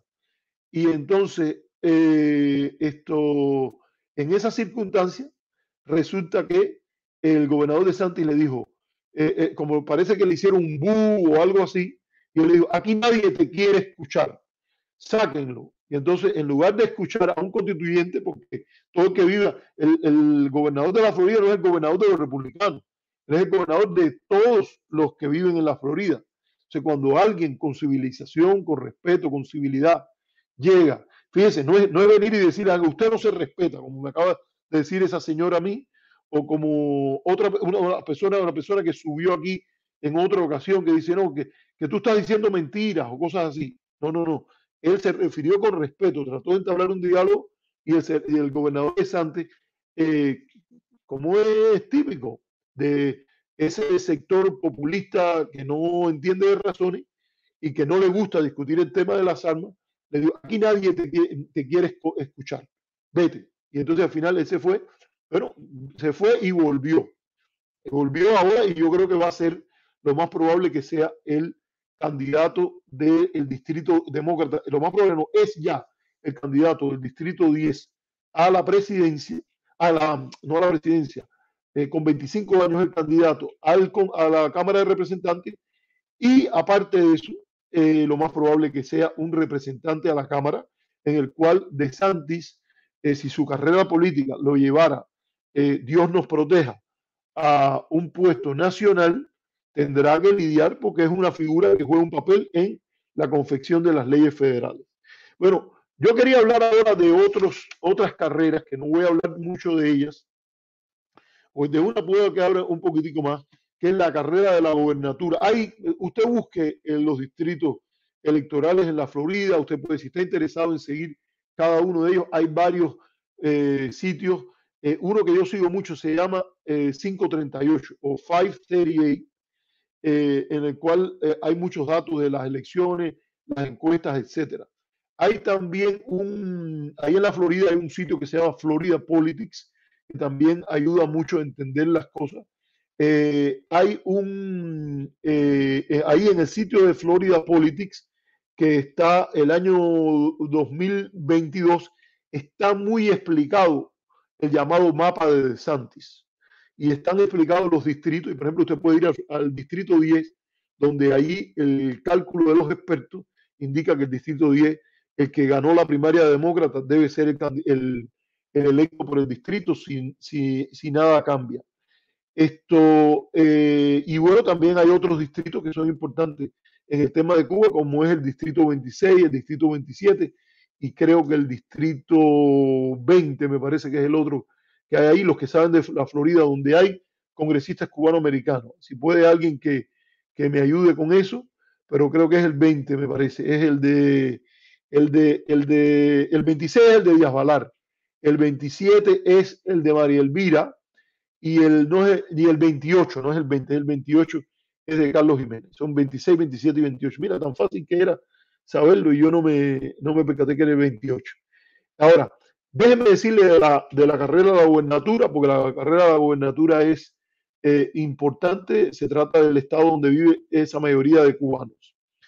Eh, ahí está, voy a dejarlo de Frost porque sinceramente simpatizo mucho con que haya una persona que ha tenido ese valor, esa integridad, ha traído esa integridad a la discusión de la política hacia Cuba, de decir, vamos a discutir desde los valores morales de los Estados Unidos si esta política está bien cuando le está haciendo daño al pueblo de Cuba.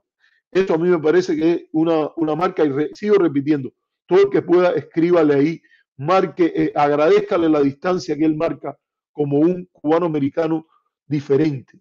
Eh, el tema de las armas, el tema de, de esto del Medicare para todos, porque eso es algo importante que incluso la constitución de 40 en Cuba reivindicaba, para decirlo eh, y es parte de, la Declaración de Derechos Humanos, señores, y el modelo de Declaración de Derechos Humanos.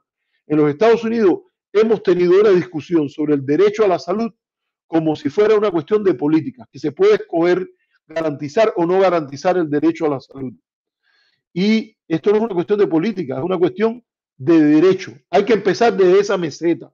Si usted suscribe, eh, fíjense que yo creo que por eso es una de las razones por las cuales Estados Unidos no ha ratificado esos pactos el de los derechos económicos, civiles y políticos, derechos económicos, civiles, económicos, culturales y sociales, y el, y el pacto de los derechos civiles y políticos. Creo que uno sí y el otro ahora. Ahora estoy un tanto, tengo que, reactualizarme. Pero una de las cosas es que se asume que, que no, no es una declaración de intenciones, no es una declaración de preferencia ideológica, es que la comunidad de estados reunida en expresión de la visión moral de lo que los estados deben ser, dice que usted tiene derecho a, a, organizarse, usted tiene derecho a pensar libremente, usted tiene derecho a expresarse libremente. No solo a pensarlo, a decir lo que usted piensa. Eso se entiende que en condiciones normales, cuando no hay una emergencia, a usted le toca como derecho. Y que a usted también le toca como derecho que si usted está enfermo, usted vaya a un hospital y lo tengan, lo atiendan. Y que mientras esté en riesgo su vida, su enfermedad, no solo su vida, no es que te, te reparo un poquitico y te tiro para la calle. No, no, no. Que, que, la idea de que usted tenga una atención médica se constituye en un derecho y que para la, la realización progresiva de ese derecho, los estados deben instrumentar políticas. Quiere decir, buscar, tener el número de médicos necesario para que eso se pueda garantizar, el número de enfermeros, el número, eh, eh, invertir en los hospitales, todo ese tipo de cosas tanto o tan importante, fíjense, porque la doctrina dice que los derechos son interdependientes e indivisibles. Esa idea de que dicen las personas de derecha, no, a mí me, que me garanticen el derecho a la propiedad privada, primero el derecho a la propiedad privada requiere gastos también. Dicen que el derecho a la salud requiere gastos, el derecho a la propiedad privada también requiere gastos, porque usted necesita una corte, necesita la policía para que le proteja la propiedad privada, para que quede claro en ese sentido es muy importante el consenso eh, eh, a favor de un Estado liberal, democrático y de bienestar social, de matriz socialdemócrata, demócrata cristiana, eh, nacionalista con, con, idea de bienestar social como era el partido del Kuomintang en China, que produjo la Declaración Universal de Derechos Humanos. Y es un modelo que está allí y que ya es la ley. Usted es un liberal estricto, neoliberal al estilo de la derecha, y no le gusta ese modelo. Bueno, usted lo puede decir, puede impugnarlo, puede tratar que los estados lo cambien, pero si no lo cambia, tiene que respetarlo como la lista de derechos de las personas. O sea, usted no viene ahí a coger un menú, a escoger el derecho a la propiedad privada y a excluir el derecho a la salud. No, se tiene que comprar de conjunto los que los socialdemócratas y demócratas cristianos y países del tercer mundo que en aquel momento fundaron la ONU, como fue el caso de la China, bajo gobierno no comunista, era el gobierno del Kuomintang, produjeron como una lista de derechos mínimos que todos los estados se comprometen a garantizar. Así que cuando usted analice un país como Cuba, por ejemplo, tendría que analizar en qué medida ciertos derechos están bien, ciertos derechos están mal, ciertos derechos hay regular, pero ese es el patrón. Tanto el comunista como el liberal tienen que ir allí a fajarse para que la comunidad internacional de los estados cambien. Y si los estados no cambian, bueno, te toca eh, implementar políticas que resuelvan lo que ha sido considerado por los estados unos estándares de humanidad y de civilización, para que quede claro. Entonces, eh, aproveché allí porque esta este es una cosa que siempre me ha gustado eh, traer a la, a la, conversación. Entonces, está la carrera a la gubernatura y voy a, a, ir cerrando ya entre el candidato de Santis, que fue una cosa muy curiosa, que él ganó en el 2018, un año difícil para los republicanos, pero él ganó con casi un 1%. O sea, fue una elección muy reñida, pero ahora cuando usted ve, por ejemplo, los, los, pronósticos de 538, de 538, le dan al, al candidato demócrata, que anteriormente fue gobernador republicano, después fue independiente, un político que ha recorrido mucho, mucha geografía, Charlie Crist, eh, que el candidato demócrata, le dan eh, una posibilidad de, ganar una probabilidad, no una posibilidad, las posibilidades son múltiples, pero una probabilidad eh, creo que anda por el 20% o algo así. O sea, dan como favorito las encuestas, los métodos que hay para aventurar. Si la carrera fuera hoy, ¿qué pasaría? Pero la carrera no es hoy. una victoria al gobernador de Santis, que yo creo que está eh, corriendo y con miras en correr a la presidencia. Eh, y entonces, aquí dice alguien, hay que declarar la, a ver, déjame esta dice, es Mendive que dice que hay que declarar a la salud como propiedad privada y quedaría todo resuelto. No sé qué quiere decir eso, Mendive, pero es interesante este comentario que tú haces. Si quieres, después discutimos esto. Pero eh, eso no es lo que dice. No hay obligación de que la salud sea privada. Si la salud es privada, pero crea un sistema, por ejemplo, por el cual todas las personas tienen, eh, como el Medicare for All, por ejemplo, este Medicare para todos, que garantiza un tratamiento mínimo de, de salud para todas las personas, eh, tengan o no tengan el, el, el, ingreso para pagarlo, yo creo que, por ejemplo, sí, ahí se, se comprendería la idea eh, planteada por el Comité de Derechos Económicos, Sociales y Culturales que, se, que dicen que hay una obligación, a partir de un caso en Sudáfrica, que fue presentado en el tema de la vivienda, porque también hay derecho a la vivienda. Y eh, el Comité de Derechos Económicos, Sociales y Culturales dijo que lo que había que demostrar, los gobiernos debían demostrar realización progresiva, o sea, avance en, la instrumentación de ese, de ese, derecho. O sea, tienen que priorizar esa, esa cuestión. Pero no, no, entendí bien qué es lo que dijiste, pero fíjate, me sacaste de, de la discusión sobre la carrera de la gobernatura, porque ese es un tema más importante y que queda, queda presente ahí. Bueno, esa es una carrera que está ya planteada. Eh, hay dudas si el gobernador de Santos, que tiene cierta popularidad en el estado, va a alar a otros candidatos republicanos en un estado que hasta recientemente se le decía que era un estado eh, swing, un estado que cambiaba de bando, pero que más y más se le está identificando como un Estado eh, republicano, porque tiende a ser más un Estado republicano, aunque muchos analistas dicen no se olvide que eh, en el 2018, por ejemplo, eh, la, carrera se hizo cercana y, y, podría llamarse más bien como un Estado tendiendo a republicano más que solo llamarlo un Estado rojo que es como se dice aquí, es curioso porque el color rojo es identificado con los republicanos, cuando en otras partes del mundo el color rojo está identificado con el comunismo. Y la otra carrera a nivel estatal es muy interesante, es la carrera de Val Deming, la demócrata, que no ha variado. En términos de Cuba, Val Deming es un eco, no una, no una voz propia eh, con respecto a Marco Rubio. Ella ha, prácticamente ha votado como Marco Rubio, su oponente en todas las legislaciones que ha habido sobre Cuba, e incluso en una legislación tan inocente como la legislación en la Cámara, que era sobre el tema de eh, permitir ventas a crédito, o sea, no permitir ventas a crédito, no perseguir transacciones financieras relacionadas a la venta de alimentos con Cuba y ella votó en contra de esa, de esa posición.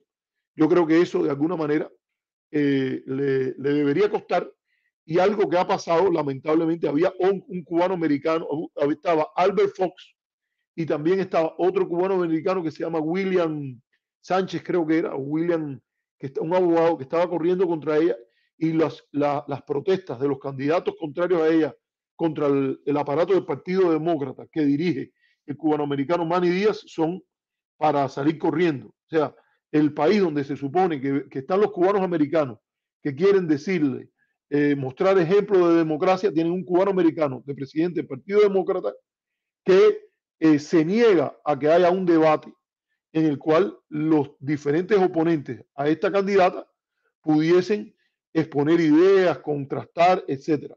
Lo que le hicieron prácticamente fue una coronación y naturalmente que los sectores progresistas del partido, los que estamos a favor de cambiar el bloqueo, tenemos razones para decir que aquí hay un juego eh, injusto, incorrecto. Eh, no quiere decir que, que sea igual al adoptado en Cuba, por decirlo, de un solo partido, ni mucho menos, pero no, no, no hay modelo, para que quede claro, todavía no, no se puede hablar ni de Miami ni de la Florida como un modelo de democracia a presentarle a nadie. Y ni lo puede hacer siquiera el Partido Demócrata, que le cayó la boca a los oponentes a Val en esta, en esta elección. Ahora, eh, están ahí en esa carrera. A Val hace eh, en agosto los datos de de 5.38 no le daban más de un 6% de chance de, ganar. O sea, no es lo que diga la encuesta, es la probabilidad. La probabilidad de ganar es diferente a la popularidad, los surveys de popularidad de los candidatos. Pero yo siempre tiendo a contrastar las dos cosas. O sea, generalmente hay un, piso a partir de que, del cual cualquier candidato que tenga el Partido Demócrata o el Partido Republicano se levanta. Eh, que, anda por el orden de 40%, cuarenta y tantos por ciento, hay lugares donde depende del distrito. Pero nos dice más estadísticamente la, el estudio de probabilidad que se hace a partir de un conjunto de variables en un sitio como es el 538. Entonces, eh, o 538 se llama. Y eh, ha subido, es interesante, porque de 6% más o menos en agosto, en junio eh, el último dato que yo vi le daban como un 15%. O sea, parece que está en una tendencia en el cual los demócratas están mejorando su situación a nivel nacional y parece que también en el estado de la Florida, ella, ahora que ha consolidado la candidatura demócrata, puede tener un mejor papel. Entonces, voy a terminar ahora con un distrito que es el distrito 27. Y este es un distrito que en su versión anterior del mapa de DeSantis tenía mucha más ventaja para los demócratas, porque ese distrito lo perdió Donna Chalala, pero Biden lo ganó. Eh, deje ver, yo creo que lo puedo, deje ver si yo lo puedo eh, eh, compartir aquí donde queda, a ver si está ahí. Voy a compartir el mapa que está ahí en, a lo mejor se puede ver, no sé si se verá bien, pero voy a hacer el, el, eh, el intento por, mostrarlo. Eh, ese es el distrito 27, que es el distrito por donde corre eh, la congresista María Elvira Salazar y corre el, está corriendo ahora, acaba de consolidar su, creo que es este, sí, no, es, no es este. Bueno, señores, no no lo voy a buscar, se los voy a, a seguir conversando aquí y después les diré. Em, eh, esto, ¿quién, quién ¿Quiénes están corriendo aquí? ¿Y qué es lo interesante? Este es el, el, distrito que todavía sigue siendo un distrito competitivo, incluso después del mapa de DeSantis, que sin lugar a duda eh, se hizo para mejorar las posibilidades de reelección de María Elvira Salazar. pero María Elvira Salazar es incumbente por una, un solo periodo. O sea, los incumbentes de un solo periodo tienden a ser más débiles porque no han acumulado todavía ni el número del, eh, ni, el, ni, el, ni, ni el reconocimiento de nombre, ni el peto de dinero que generalmente se acumula cuando usted está como Lincoln Díaz eh, como Mario Díaz Balart, por ejemplo, que lleva años en las cuales, fíjense qué democracia, cómo eso funciona ahí, que los demócratas no le presentan a nadie porque el mapa se lo hicieron para que él no eh, pudiera ganar sin ningún problema. Y entonces eh, él va acumulando porque recolecta dinero en ciclo electoral y ciclo electoral y cuando usted se va a tirar contra él al cabo del tiempo, el papel de dinero en la política, el dinero es la grasa, el, el, el aceite que mueve la política norteamericana. Y entonces ya tiene una ventaja muy grande. Pero ese no es el caso de María Elvira Salazar, con la cual yo estuve en algún que otro programa, y, y eh, ella ha estado solo estos primeros dos años. Sirvió en el Congreso con el partido que está en minoría. Ella no ha pasado ninguna ley en el Congreso. No tiene nada, ningún mérito. Ella no se puede atribuir ningún mérito que ella haya logrado algo en el Congreso. Dice que ha hablado, pero fíjense, ha hablado quiere decir que eh, Biden aprueba unas nuevas medidas sobre Cuba y ella llamó inmediatamente a Carlos Jiménez y a, y a Mario y se pusieron con un teléfono ahí y empezaron a transmitir que ellos que estaban avisando y que eh, atribuyéndose los méritos de que en Cuba iba a funcionar ya la embajada para resolver los problemas de reunificación familiar. Muy curioso porque se atribuyeron un mérito que ni Biden lo tiene todavía, que sigue yendo, teniendo que ir gente a, a Guyana y todo eso. Pero ellos inmediatamente buscaron el telefonito y se pusieron los tres ahí a decir, porque esto es lo que hemos estado luchando, mentira. Si ellos lo que han estado siempre luchando es por apretar y apretar y apretar y que Cuba reviente. Para que la cosa vaya mal, para que a ellos o a los favoritos que ellos tienen entre los opositores le vaya bien. O sea, le va mal al país, le va mal al pueblo, le va bien a ellos. Si en, la medida es una correlación bien clara en su manera de ver las cosas. Y entonces ella tiene eso. Primero, no tiene una incumbencia larga, está en un distrito competitivo que aunque ahora, tras el diseño, quedó más o menos, por los datos que he visto, que ahora tiene un pincito pequeño favorable a los republicanos. Tincito pequeño. Pero ahí en esa carrera es muy importante cuánto se moviliza, cuánto dinero se le da a la campaña.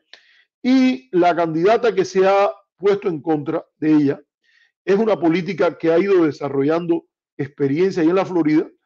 Ha hecho declaraciones muy duras contra el gobierno de Cuba, algunas con mucha razón, otras que son más eh, cuestionables, eh, porque también puede ser parte del pandering, de la subordinación, de tirarle el guiño la carne roja que lleva una masa cultivada noche, tarde y madrugada, adoctrinada desde posturas macartistas, pero que es una candidata demócrata que ha demostrado mucho razonamiento en la discusión de problemas norteamericanos.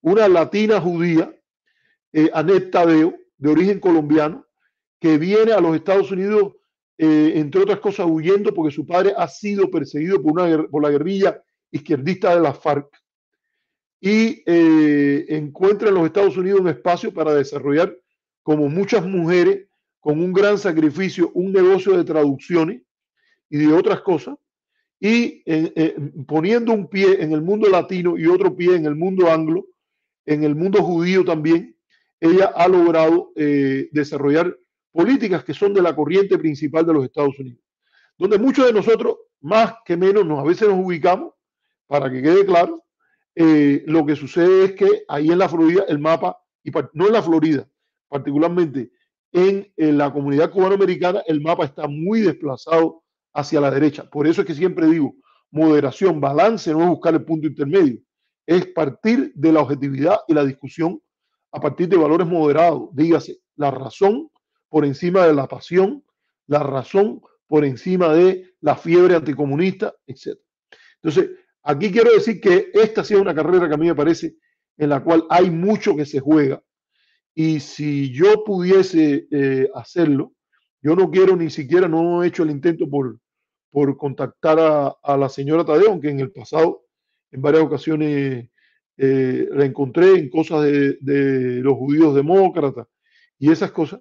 Pero quiero eh, decir que si en algún lugar yo creo que las personas que queremos un cambio de política y queremos marcar una diferencia, eh, el activismo de María Elvira, que tengo entendido que ahora se ha casado con un hombre, un granjero, eh, y, que incluso me conta que el, el, posible speaker de la Cámara, si ganan los republicanos el Congreso, Kevin McCarthy, eh, no sé, se siente muy contento conversando con ella. Le, es, muy interesante las miradas, las miradas que él le tira. esto, y no he dicho nada que sea problemático aquí, quiero dejarlo ahí. Y eh, yo creo que marcaría una diferencia importante si Tadeo logra derrotar a María Elvira ahora, porque en la próxima elección ya va a haber una movilización demócrata mucho más grande. Y hay temas, por ejemplo, donde María Elvira, aunque se ha movido, ella no ha votado con eh, ciertos republicanos, porque sabe el distrito que tiene, eh, si su presencia en ese distrito ayuda a que los republicanos empujen la agenda de eh, eh, la anti-opción de abortar o no para las mujeres, el tema migratorio en el cual María Elvira tuvo una posición más cercana a los demócratas, pero imagínense, con un, con un dominio republicano en el Congreso, ella lo que va a hacer es ayudar a que se cierre, o sea, al tener un speaker, un presidente de la Cámara que controla la agenda, va a ser más difícil que haya una reforma migratoria. Y en el tema de Cuba ni hablar. Eso es, está a la derecha de Genghis Khan. Eh, María está a la derecha de Genghis Khan. Es, decir, Genghis Khan con unas piernas muy bonitas, para ponerlo de alguna manera.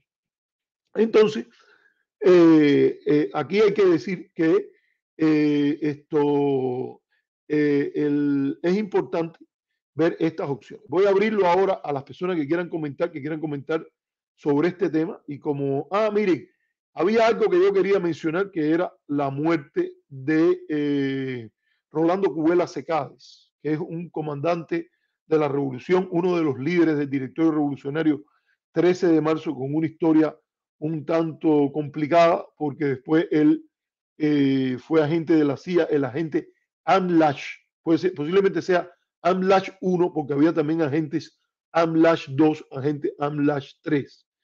Eh, yo lo voy a dejar, no lo voy a tratar hoy, acuérdense que, eh, y voy a ver si un día lo puedo hacer que Max venga en estos próximos días, días en que podamos hacer un programa un poquitico más temprano y vamos a hablar de la, cuestión histórica de Rolando Cuelas, con méritos indiscutibles, a pesar de esa, eh, eh, eso de, plegarse a servir a, otro país contra el gobierno del cual él era parte, eh, esto, lo cual en cualquier, en cualquier país significa un delito muy grave. Esto es, un, papel importante. apenas déjenme mencionar y ya abro, voy a abrir al, a, a, las personas que quieran subir. Esto voy a ponerlo aquí. Eh, eh, eh, Rolando Cubela es, participa en el atentado a, Blanco Rico, que es un atentado importante en la lucha armada contra la dictadura batistiana.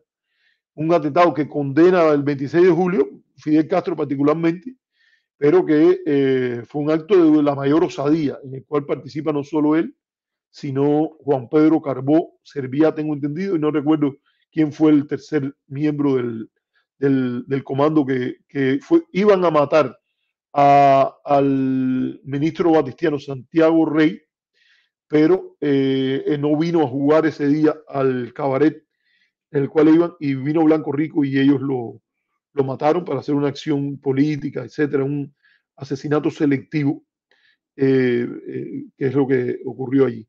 Y después, quiero decir que él juega un papel muy importante porque viene en la expedición de Nuevitas del directorio, que eh, va a establecerse como un segundo frente, pero el directorio, el frente del directorio en el Escambray, tiene una disputa con el comandante Eloy Gutiérrez Menoyos allí, queda como uno de los líderes militares de la guerrilla del directorio con Fabre Chomón, firma el pacto de Pedrero con el Che Guevara, Después es importante en la batalla de Santa Clara la toma del cuartel 31, donde estaba la escuela primaria de, eh, varios primos míos y que, y bueno, no voy a decir el detalle de, de, una muchachita que había allí, que yo era estudiante primaria y fue la primera que, me, que me incendió algún calor en el cuerpo.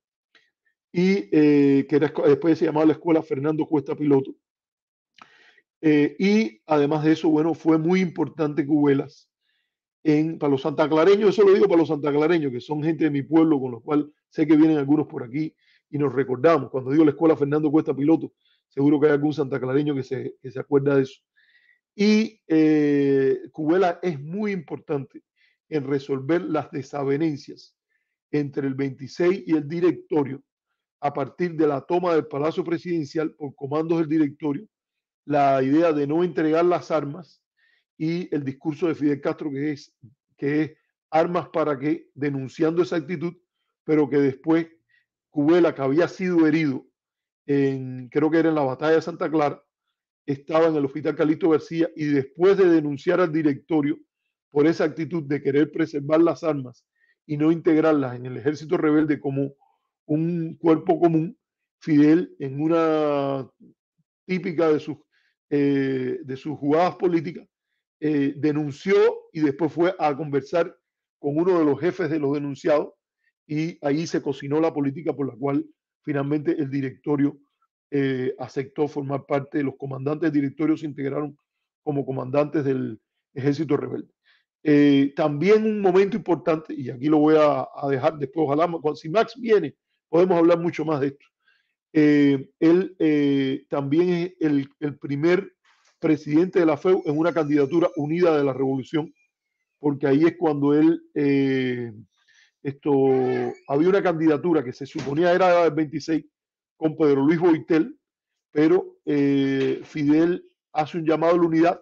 Tengo entendido que hasta Boitel está de acuerdo en una candidatura unida, porque mucha gente dice de que, de que fue una carrera en que al final a que, que esto le impusieron la candidatura unitaria al 26 y a Boitel, pero tengo entendido que lo que es cierto es que Boitel obtuvo un, un voto grandísimo, un, una, un, una votación altísima, aún después que se había hecho la llamada a la candidatura unitaria, que por cierto pasa algo parecido en la CTC con David Salvador entre la candidatura comunista frente a la candidatura más reconocida del 26 de julio.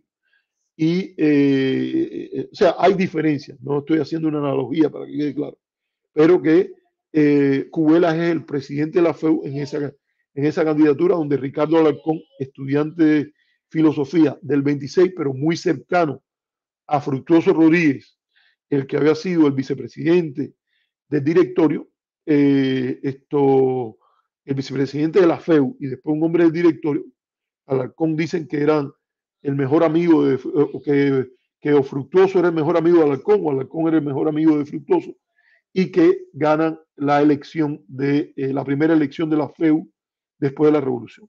Cubelas, además, por decirlo, era de los hombres más cercanos a José Antonio Echeverría. Tengo entendido, esto no lo lleven al banco, porque esto lo he oído por historia oral, de que eh, vivía en, que diga, José Antonio Echeverría vivía en la casa de residentes que administraba o que era la dueña la madre de Cubelas, aunque ellos venían de también del área de las villas, ellos eran de Cienfuegos.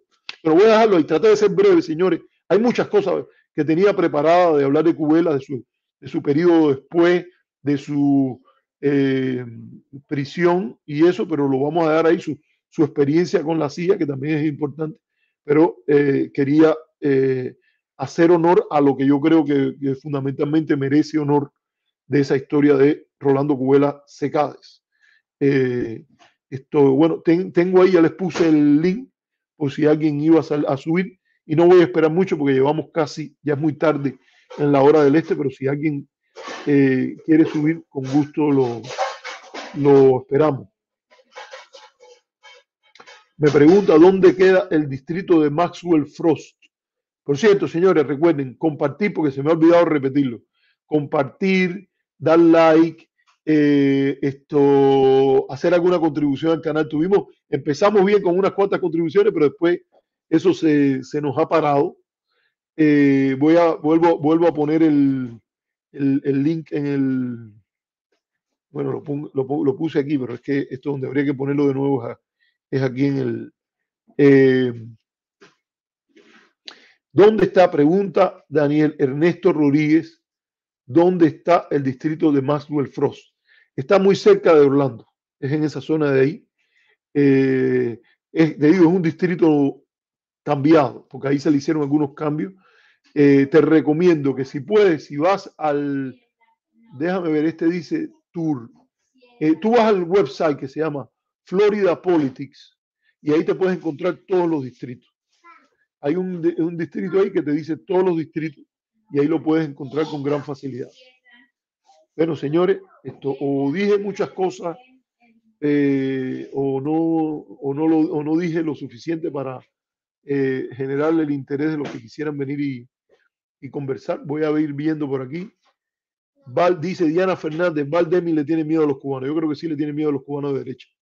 Le tiene mucho y ha, ha- ha cerrado filas con, con cosas que son abominables. Yo no, yo sinceramente no me sentiría bien respaldándola, aunque yo sé que está corriendo contra Marco Rubio y ahí el escenario peor es la reelección de Marco Rubio.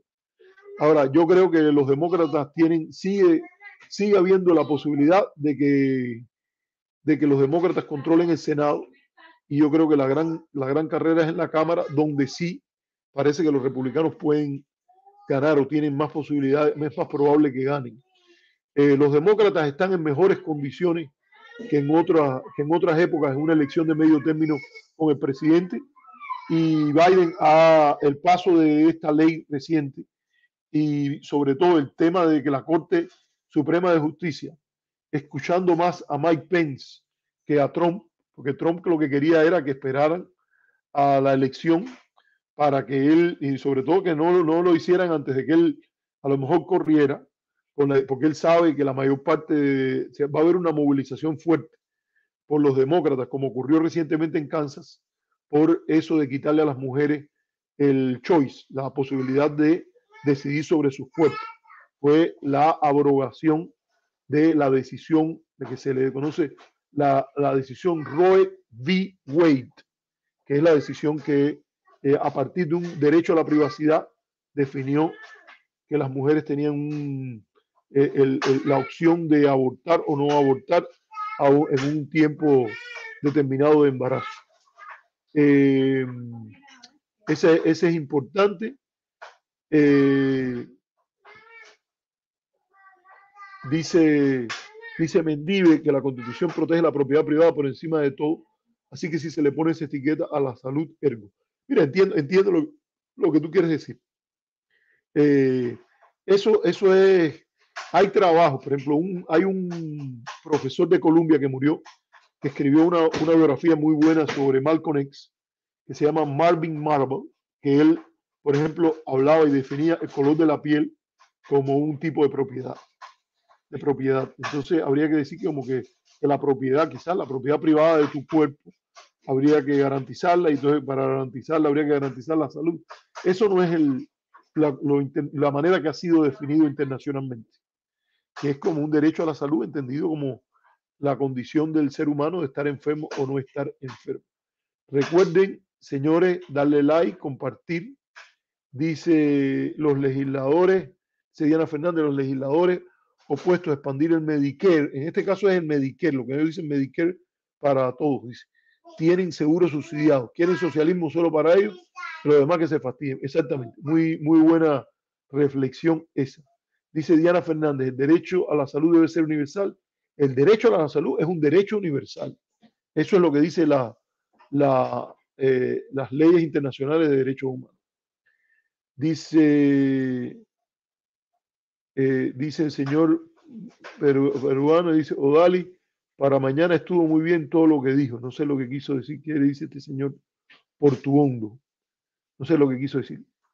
Eh, dice eh, la historia, dice esta persona, la historia de Cuba es poco difundida entre la juventud, contada al estilo del folletismo soviético tan criticado por el Che. Eh, es interesante eso que usted dice. Yo creo que, que se ha avanzado mucho en mejorar el estudio de la historia de Cuba. Yo creo que hay, hay a veces, eh, hay, hay- eso depende del autor. pero hay muchos autores serios dentro del propio, la propia Cuba y también autores serios del lado de acá. Hay sesgos ideológicos que son a veces innegables. En ciencias sociales es muy difícil tener sesgo cero. Eh, Francisco Rosendo López Silverio Torrens. Eh, yo creo que eso es, es, muy difícil tener el sesgo cero, pero eh, sin lugar a dudas se puede ser muy profesional como historiador, como cientista político. Yo el otro día decía, por ejemplo, cuando decía el desconocimiento que hay sobre eh, la anatemización y estigmatización que hay sobre la bandera del 26 de julio, que eh, se desconocía los méritos de esa bandera, por qué se creó esa bandera, cuándo se creó, quién es el diseñador de esa bandera, que fue nada más y nada menos que Fran País García.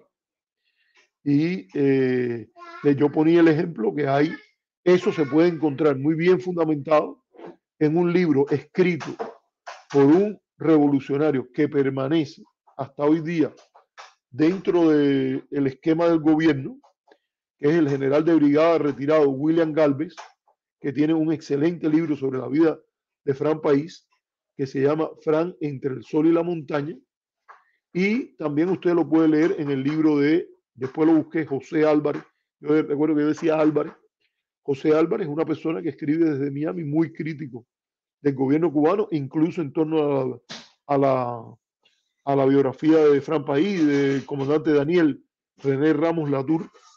Y eh, usted va allí y encuentra bien explicado quién era Fran País García, cómo se hizo esa bandera, lo que significa el negro, luto por las víctimas, luchar, que lucharon por las libertades de Cuba en toda su historia, y el color rojo, la sangre derramada en la lucha por la libertad y la democracia en Cuba.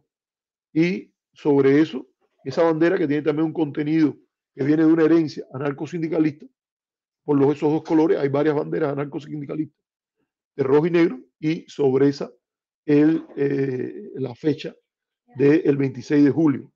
Por cierto, eh, búsquese cualquier documento firmado a nombre del 26 de julio y eh, ni, es, ni, es, ni es una organización terrorista, ni es una organización antidemocrática. Eh, hay documentos de primer nivel como las tesis económicas que el modelo económico que se está tratando de, que se discute, que haya hasta cierto consenso entre economistas del lado de Cuba y economistas del lado acá, tiene que ver mucho con las tesis económicas que se plantearon los que lo hicieron en su momento. Regino Botti, que murió en Cuba siendo vicepresidenta vicepresidente de la corporación CIMEX, economista de primer nivel, con historia en la CEPAL, etcétera, cuyo hijo, yo no es que mis hermanos son más amigos de él, pero que yo tengo una relación con él buena, no lo he visto hace muchos años. Nieto de también el gran poeta guantanamero, Guantesi creo que estaba por ahí, Regino Botti, y que escribieron las tesis económicas que después fueron abandonadas en la construcción del sistema de economía de, de comando, en mi opinión, para mal, para que quede claro. Pero también forzados por el nivel de agresión y la cercanía que hubo que adoptar en cierta medida para que sobrevivir la política de guerra aguante quitado que se le estaba haciendo al gobierno revolucionario.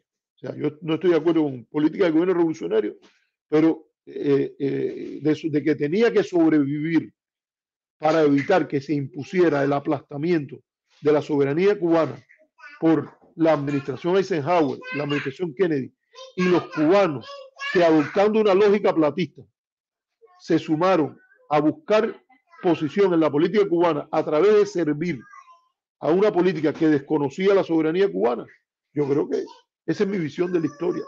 Lo digo con claridad. O sea, eh, es difícil hablar de un nacionalismo, de un respeto por la soberanía del país, cuando usted va y se suma a políticas que son claramente de corte platista. Fíjense, yo hasta puedo llegar a comprender, como me pasó en Colorado, en una persona que me lo aceptó, que me dijo una vez en Colorado, una persona, era el padre de un cubano que había allí, y él me dijo que él se había enrolado en la lucha con el apoyo de, Estados Unidos, a pesar de que Estados Unidos no respetaba la soberanía cubana porque él pensaba que a la larga Cuba iba a, convertirse en una colonia soviética. No respalda la evidencia de que Cuba se convirtió en una colonia soviética. Nunca un embajador soviético dijo que él se consideraba el segundo hombre en importancia en Cuba, a veces el primero, como dijo él Smith. Lo que dijo el embajador Konstantin Katuchev fue que nunca se debía arrinconar a Fidel Castro porque no se sabía cómo él iba a reaccionar. Y que con tal de marcar el punto de su independencia era capaz de tomar hasta decisiones irracionales.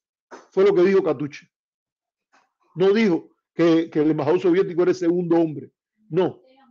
Que, el, presidente que tenía Cuba, y usted le puede escribir una larga lista de críticas, yo le dije aquí y lo recibo repitiendo, en mi opinión, se demoró mucho en retirarse, pero mucho.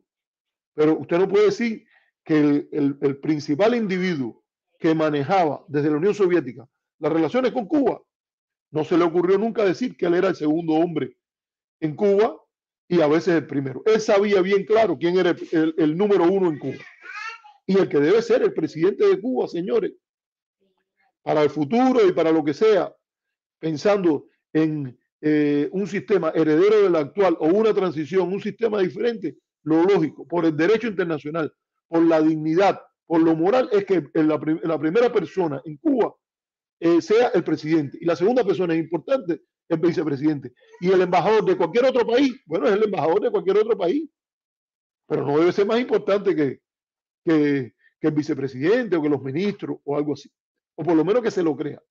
Sería bueno que no lo haga. Bueno, Señores, recuerden, el que pueda que done, el que pueda que le dé like, el que pueda comparta. Yo creo que hemos llegado, hemos rescatado un poquitico, hemos, nos hemos, hemos oscilado en, en la audiencia que hemos tenido. Yo sé que este horario es difícil, pero entonces si nadie sube, ya es hora de terminar. Así que, y además ya, ya ustedes están escuchando que, que mi hija nos está, me está llamando. Así que hasta la próxima. Eh, recuerde también que si usted ve el programa más tarde, puede hacer una donación. Eh, busca la parte donde dice gracias, hay un signo de dinero al lado, usted puede llegar y eh, eh, donar allí. Así que, bueno, si podemos, haremos un programa este fin de semana o a lo mejor en otro día, mañana, pasado, el domingo, ese sí no lo puedo anunciar con tiempo, pero si no, nos vemos el próximo martes de seguro a las eh, 6.30 hora del Pacífico. Mire, tengo que reconocer otra de, nos llegó una donación de Odali Solano a última hora. Tarde, pero muy bien, muy bienvenida, Odali. Muchas gracias por, ese, por, esa, por esa donación.